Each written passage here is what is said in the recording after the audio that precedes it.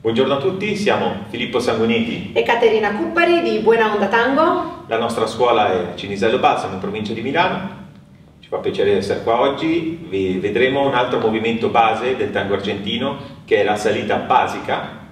Quindi è una delle prime figure che si sono costruite del tango argentino che si compone di otto movimenti specifici. La cosa particolare della, delle salidas che hanno il movimento di incrocio per la ballerina per recuperare la frontalità. A differenza di quello che abbiamo visto col quadrato con la baldosa, è un movimento quindi che si sviluppa più in lunghezza, è composto quindi da un passo indietro per l'uomo sempre con la gamba destra, un'apertura con la gamba sinistra, cammino sempre in esterno, a differenza del quadrato, quindi invece di prendere la linea della ballerina rimango in esterno in modo tale che sia la ballerina a riportarsi frontale rispetto alla ballerina di ballo facendo un incrocio. Quando la ballerina incrocia, unisco, cambio peso, vado avanti, vado a lato e ho finito il mio movimento. Quindi, vediamo nel dettaglio. Passo indietro con la gamba destra, l'apertura dissociata sempre come il quadrato, passo in esterno con la gamba destra. Adesso la mia gamba sinistra non rientra più, rimango sulla mia linea, vado ad appoggiare generando un incrocio per la ballerina. Quando la ballerina cambia piede, cambio peso, vado avanti, vado lato e chiudo.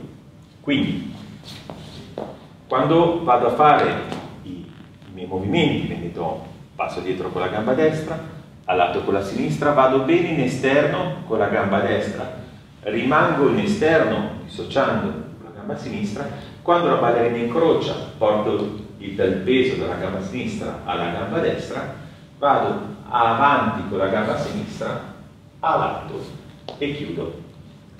Per la ballerina, un passo avanti sempre di sinistro, un passo a lato di destro, vado indietro di sinistro, vado indietro di destro, e porto la sinistra a incrociare davanti alla destra. Spingo bene a terra con il piede sinistro e ritorno indietro di destro, sinistro e chiudo. Ancora una volta. Indietro di sinistro, apertura di destro. Indietro di sinistro, indietro di destro, incrocio e indietro, a lato e chiudo. Quindi, visto sulla linea frontale, per noi uomini il movimento è fatto, passo indietro con la gamba destra, passo a lato con la gamba sinistra, ricordatevi la dissociazione, anche perché adesso vedrete che la dissociazione serve, quando vado avanti con la gamba destra, per generare l'incrocio della ballerina mentre porto avanti la gamba sinistra. Unisco, cambio peso, avanti con la sinistra, a lato con la destra e chiudo per la ballerina, avanti con la gamba sinistra, a lato con la gamba destra, indietro di sinistro, indietro di destro, porto l'incrocio, cerco di portarlo ben vicino alla gamba destra, libero la sinistra e vado indietro, a lato e chiudo. Ancora avanti di sinistro, a lato di destro, indietro, indietro, porto il peso sulla sinistra, libero la destra e vado indietro, a lato e chiudo. Con l'abbraccio chiuso